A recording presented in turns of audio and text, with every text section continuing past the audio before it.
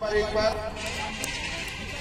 Scoring के लिए भावना पाठक court number दो पे स्कोरिंग के लिए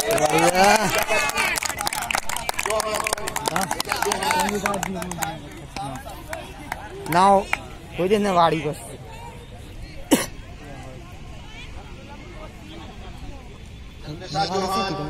नंबर दो पे नंबर एक पे।